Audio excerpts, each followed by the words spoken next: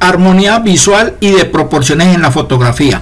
La fotografía tiene unas leyes de composición que hacen que la imagen capturada sea agradable visualmente a un espectador. La proporción áurea y las reglas matemáticas de la composición son la estructura de configuración de formas de nuestro entorno visual. Por lo tanto, ellas son las que subconscientemente hacen que una imagen sea agradable visualmente para un ser humano.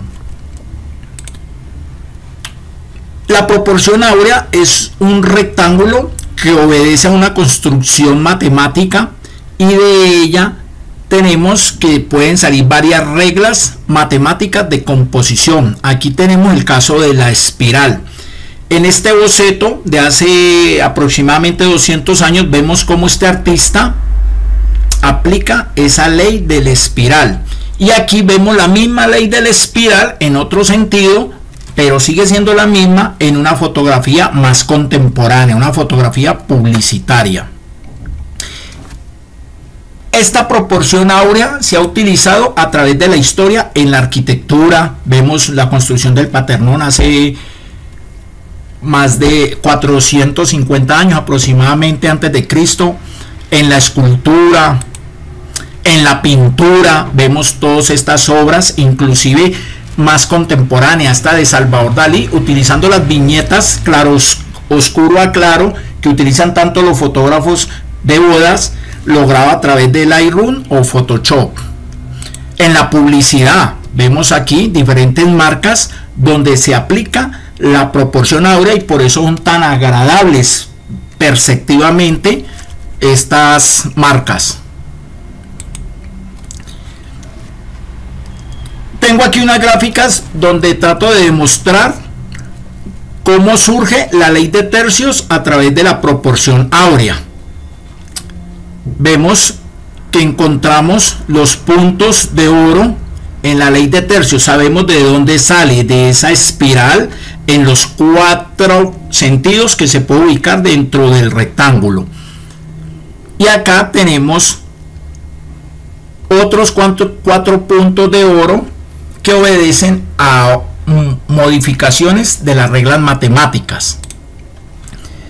Tres visores diferentes de cámaras reflex, en donde estos puntos de enfoque no están ubicados o diseñados arbitrariamente, obedecen a estas leyes matemáticas donde estos puntos nos dan la posibilidad de capturar de una vez con una buena composición, encontrando los puntos de oro. Los vamos a ver enseguida.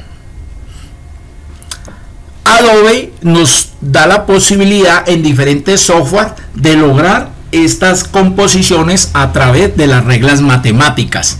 En Photoshop vamos a la herramienta recortar y hacemos clic izquierdo y nos sale la primera regla que es la de diagonales.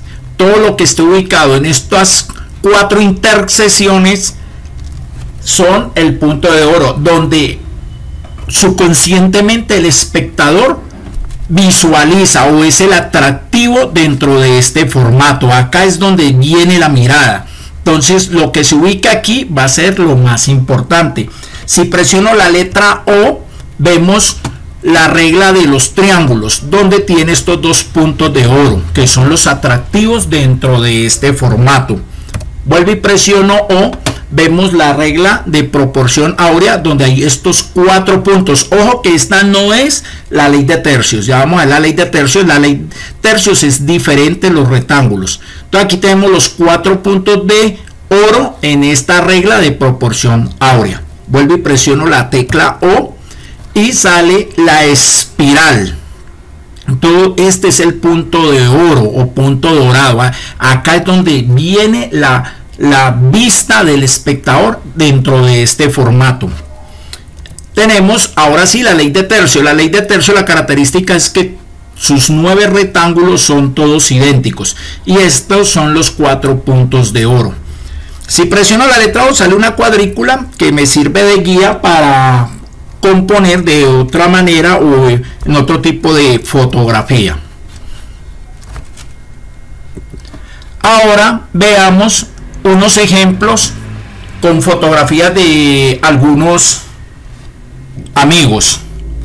Esta, esta fotografía es de Will y aquí podemos ver la aplicación de la ley de diagonales. Entonces en este punto él ha colocado el sujeto principal de toda la composición y es una fotografía agradable visualmente, muy simétrica. Vemos ahora una del maestro Antonio Flores, también la misma regla matemática de diagonales, pero ya es en este punto donde él ha ubicado el sujeto principal. Entonces hace que la fotografía sea atractiva. Otra de, de Carlos Andrés Álvarez, Arpis.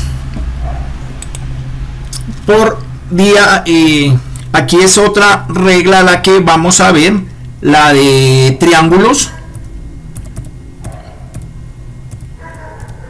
Vemos aquí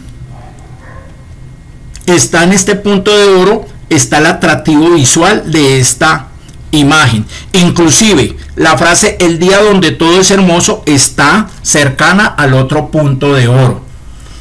Y si yo presiono la tecla Shift y la letra O cambia la dirección. Entonces tenemos aquí cuatro dos puntos de oro que no han sido utilizados en esta composición, pero si la presiono Shift y la letra O encontramos acá los puntos de oro que tiene esta fotografía, siendo atractiva visualmente. Veamos otra de triángulo por el fotógrafo Julián Madrid. Entonces vemos que en estos dos puntos están los atractivos visuales. La dama está cerca a este punto de oro y el chico está justo en el punto de oro, siendo una fotografía atractiva visualmente. Veamos proporción áurea por una fotografía de Willy Jazz, otro gran amigo. Eh, hacemos clic, vamos acá, esta es la proporción áurea. Aquí vemos los puntos de oro, hay cuatro, pero en este caso Willy Jazz, su fotografía tiene los dos puntos superiores y es una fotografía atractiva. Vamos a ver otra de proporción áurea, la misma regla, pero con Rosario Fusco. Eh, vemos que justo en este punto de oro están los rostros de su imagen. Entonces es una fotografía con una gran composición. Vamos a ver la ley de espiral con Julián Madrid. Eh, clic, presiono la tecla O, cambia. Ahora si presiono Shift y O, recuerde Shift y la letra O, recuerden que cambia la dirección. En este caso vemos aquí la regla del espiral y justo en el donde concentra el espiral vemos el ojo que está iluminado. Aquí vemos pues algo muy característico de Julián Madrid y es que él encuentra estas repeticiones modulares haciendo muy atractiva visualmente sus fotografías. Por algo es uno de los mejores en Colombia, es de los que admiro bastante.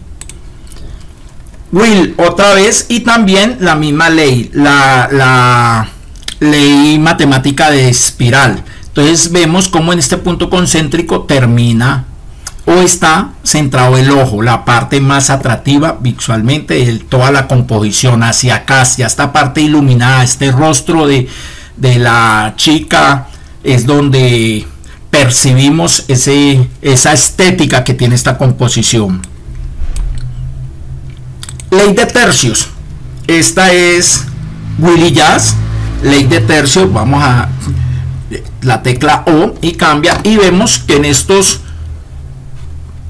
dos puntos de oro superiores es donde están los rostros de esta fotografía, haciendo una fotografía hermosa. Vamos ahora a mirar otra vez la ley de tercios por otro fotógrafo, Agustín Bedoya, otro gran fotógrafo que trabaja muy callado, sin, sin hacer tanta bulla en redes sociales, pero sus fotografías son espectaculares. Vemos la aplicación de la ley de tercios Entonces aquí esta fotografía se, lo, se puede lograr desde la cámara en la captura, en el momento de la captura, encontrando este punto de enfoque, este punto de oro y realizando la, la imagen. Entonces vemos como en Photoshop y en Lightroom también están estas mismas reglas matemáticas eh, que se deben de aprovechar para lograr unas imágenes que sean agradables perceptivamente al subconsciente. Recuerden que estas leyes obedecen a una estructura universal, como estamos constituidos.